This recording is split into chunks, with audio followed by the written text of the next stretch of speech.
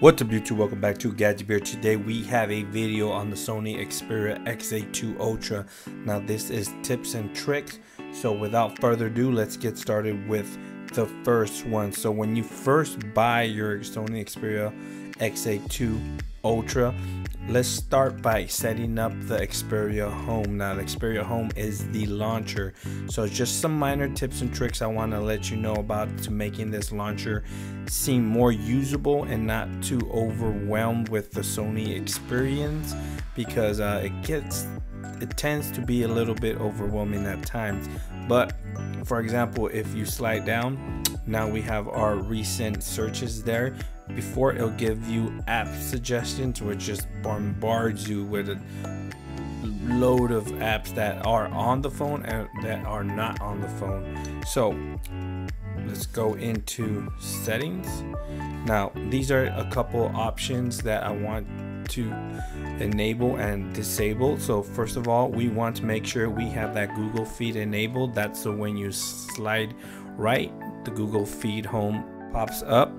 And the app recommendation we need to disable the app recommendation. That's so you don't get bombarded with all those apps when you quickly slide down on the home screen. Uh, auto rotation is optional if you like your home screen to go into landscape mode when you rotate your phone.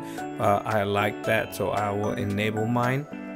The icon sizes uh, I do like more real estate so I like to take advantage of that six inch screen. So I'm gonna make my icon sizes small uh, but that's catered to your liking. Also I want to hide the app icons um, drawer. So basically if I enable this we're gonna go over here. We're gonna see this app drawer there. Um, now you can't slide up. You gotta do the touch it to in, a, in order to get to the app drawer. But if we select to hide it now it'll give us the Google Now launcher experience like on the Pixel where we can just slide up and slide down and it'll go into the launcher. Now we also want to enable quick add icons. Now what this does is when you're in the app drawer it allows you to quickly add an icon by just swiping up and placing it there on your home screen. Also, we want to make sure that you remove, you have the remove duplicates enabled just so you don't have duplicate icons on your home screen. That always, and also this is just another option, automatically place icons together. So when you add uh, new icons to the home screen, it'll automatically put them together next in order with the next available spot those are just some quick recommendations for setting up the Xperia home launcher. Uh, now let's get to tip number two. One great thing about this phone is that it is Cast available or Google Cast enabled. So if we were to go to devices here, uh, we do have the option to use Google Cast to cast any content into a Google Chrome or a Google Cast device. Not only can you cast to Chromecast, but you can also cast to any TV enabled with Miracast, which is awesome. Also, not only can you cast visual content, but you can also cast to any speaker and that has Miracast or Google Cast or Chromecast. Um, enable so you can just cast your music to any Bluetooth enabled speaker. Now this option right here just allows you to have the screen on while you're casting or you can disable it. Three, let's make sure we take advantage of our battery options here. Now you can clearly see I'm at 40%. Now if we go down here to battery care, now what battery care does is it kind of learns your pattern on what time you plug in your device and what time you unplug. So for me, I currently plug my device anywhere from around midnight to one o'clock and unplug it around 10 o'clock or 9 o'clock in the morning. So what so what it does is it disables almost quick charge where it just gradually charges the phone slowly throughout the night.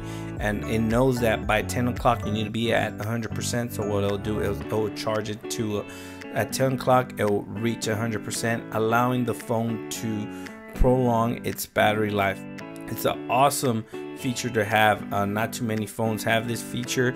So ultimately you'll end up saving the battery life of the phone. The next tip we have is with the display.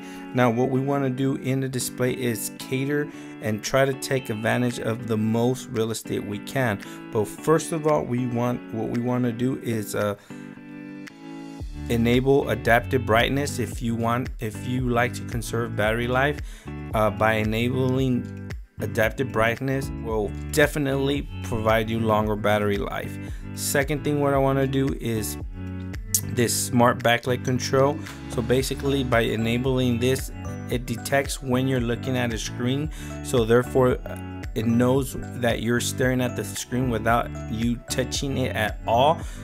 And it, will it'll allow it to stay on longer. So basically it's like one of those features that some Samsung had a long time ago that it knew you were staring at the screen so it stay lit. Uh, the minute it doesn't recognize you staring at the screen what's gonna do is it's gonna power down which is a great feature. Uh, one thing that I really like about this is this this year it, it allowed us to change the color gamut and contrast here.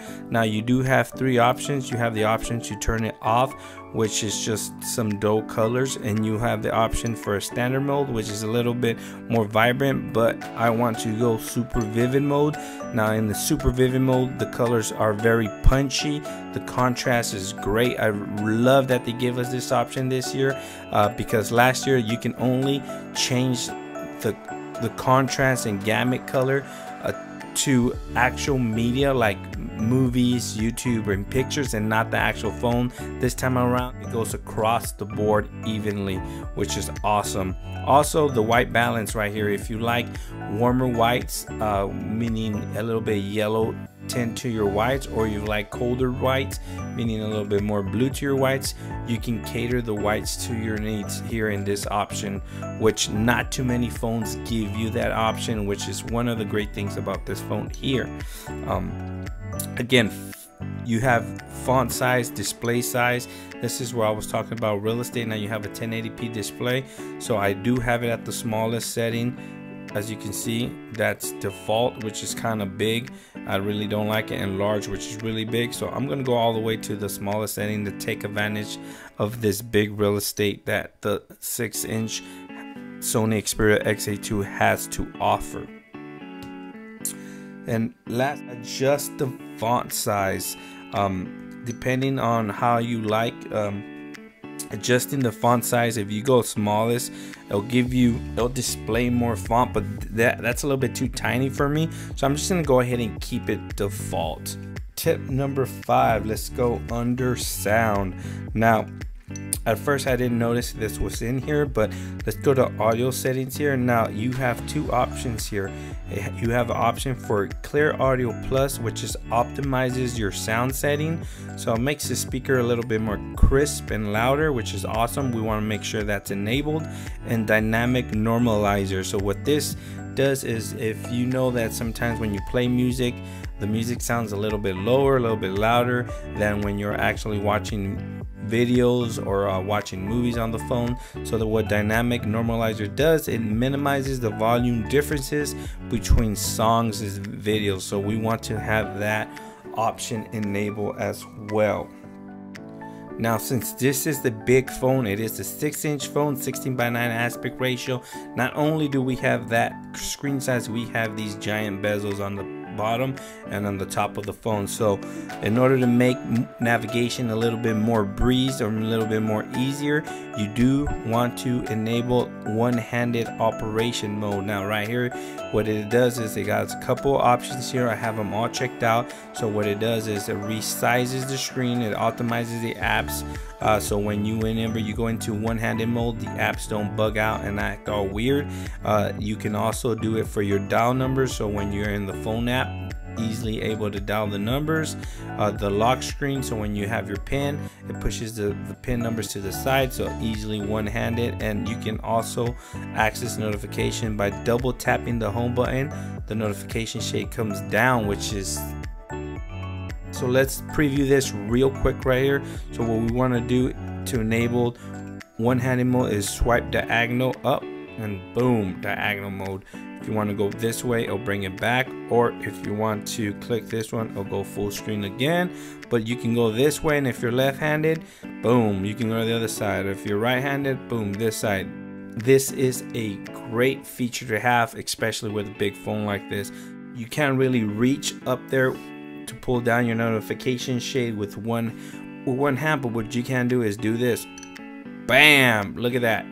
Beautiful. Look at that double click the home button and your notification shade comes down. That is awesome. Number seven we want to set up our security uh, now this has a slew of security options here. You can do a screen unlock you can do a pin a password a phrase fingerprint.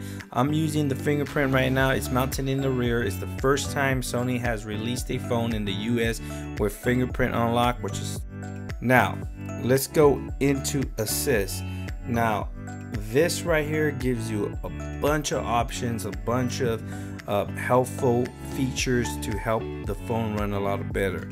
So I'm gonna go through them very vague. If you guys wanna see a more detailed video on assist go ahead and leave a comment below. Depending on how many people hit me up I'll go ahead and do one. So we got Xperia actions. This is pretty much cool. So basically in, if you select and enable each one of these it does selected things without you actually doing them. So I'm gonna explain gaming. So I click on gaming. I have have it enabled. So every time I game I want it to block notifications. It, it goes into doesn't allow any apps running in the background it disables everything.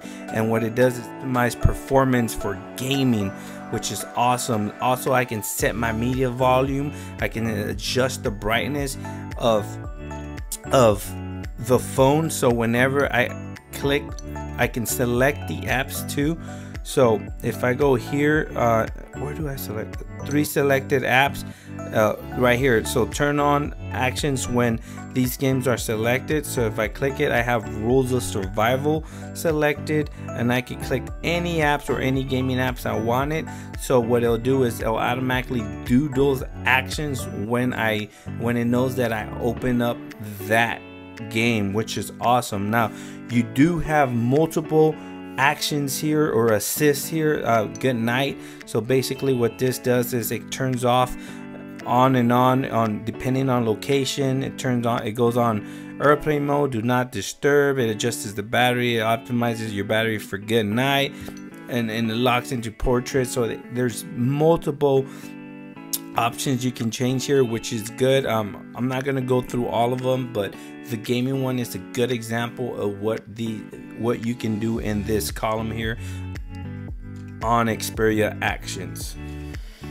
Tip number nine, um, make sure if you're using Xperia Home to go into your system and make sure you back up and restore your Xperia Home settings. Now what this does is you can back up your Xperia Home launcher. So whenever you buy or purchase another Sony phone you can go ahead and restore it. And what it'll do is restore your layout because what this does it backs it up in the cloud. And last but not least you want to make sure your phone is updated and you're running the current update. Now Xperia did drop an update not too long ago it did fix some minor bugs and stuff like that. This phone does have bugs. I've been encountering them on a daily basis. Um, but hopefully, you always want to make sure you are on the latest and greatest OS available from your current OEM. So, with that being said, those are 10 tips and tricks for the Sony Xperia XA2 Ultra. Thanks for watching, guys please like, share, and subscribe. And if you're new to the channel, make sure you definitely subscribe and definitely hit that notification bell so when you know when more awesome videos like this drop. Thanks again for watching, and I'll catch you guys on the next video.